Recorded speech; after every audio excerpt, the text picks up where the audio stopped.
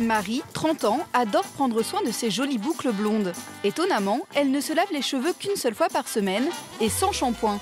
On utilise juste de l'après-shampoing, donc euh, moi j'ai juste ça et euh, je vais vous montrer euh, comment je fais. Donc là, je mouille mes cheveux de manière classique.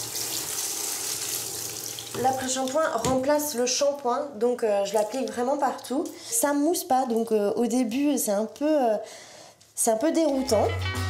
Pas de mousse et pas besoin de rincer abondamment. Si on rince mal, c'est pas grave. Comme ça, ça garde le côté hydratant. Un lavage sans shampoing, ultra rapide.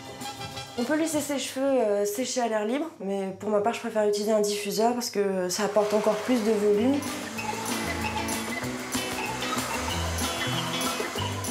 Résultat, des boucles disciplinées et des cheveux hydratés. Comme Marie, de plus en plus de Françaises décident de se laver les cheveux à l'après-shampoing, moins agressif que les shampoings classiques. À l'origine de cette tendance, la célèbre coiffeuse new-yorkaise Lorraine Massé. Elle a lancé cette méthode aux États-Unis en 2007 pour les cheveux secs, bouclés ou crépus. Cela s'appelle le no-poo, qui consiste à se laver les cheveux à l'après-shampoing, et le low-poo, pour laver ses cheveux le moins souvent possible. Peut-on bien se laver les cheveux sans shampoing? Quelles sont les alternatives? Marie, blogueuse beauté, a eu un coup de foudre pour le no Lopu. Au départ, je me suis intéressée plutôt euh, sur les blogs et sur euh, les sites aux cheveux bouclés. Et là, euh, de fil en aiguille, je suis tombée sur la technique du Lopu. Lorraine Massé a de superbes cheveux, donc forcément, quand, on, voit le résultat sur ses cheveux, on se dit waouh, je veux le même résultat. Le shampoing classique ne lui a jamais permis de mettre en valeur ses boucles naturelles. Grâce au Nopu Lopu, depuis 8 mois, la jeune femme assume enfin ses boucles. Je me lissais les cheveux depuis, euh, depuis l'adolescence, j'ai toujours lissé mes cheveux, donc j'étais obligée d'utiliser tout un tas de produits. Maintenant, c'est beaucoup moins agressif euh, bah, euh, pour mes cheveux.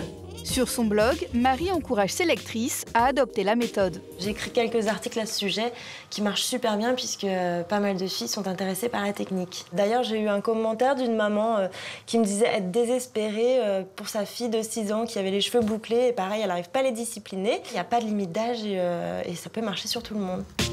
Marie vient de laver ses cheveux pour nous à l'après-shampoing. A-t-on une sensation de propre comme avec un shampoing?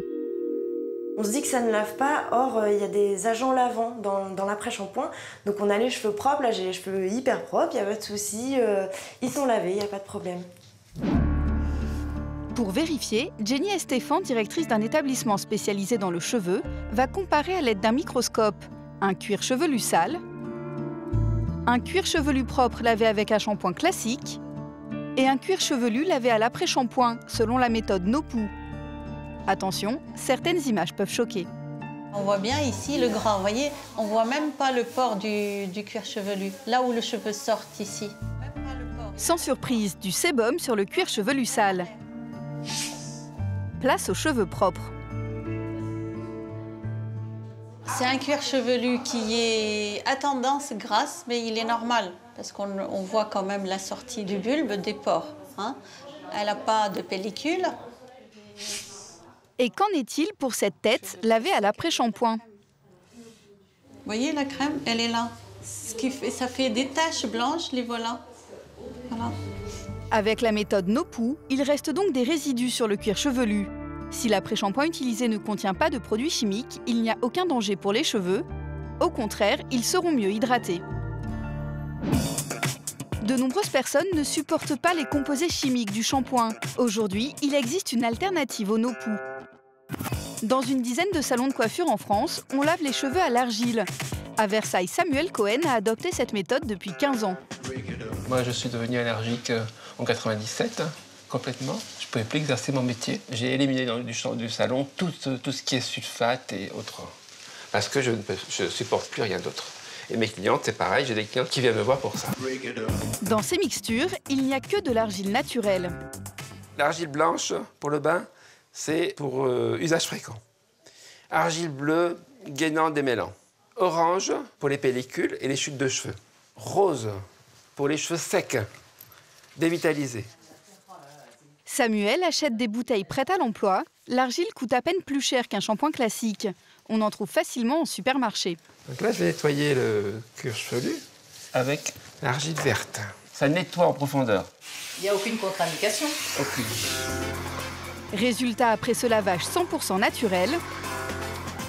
Non, c'est parfait, vraiment. Ils sont brillants, ils ont du volume, ils sont lumineux, et c'est exactement comme je veux. Et naturel. Non, non, c'est bien, c'est bien. Pour créer vos propres soins naturels, il suffit de diluer dans l'eau de la poudre d'argile vendue en parapharmacie. Alors, plus la peine de vous faire des cheveux blancs si vous les lavez sans shampoing.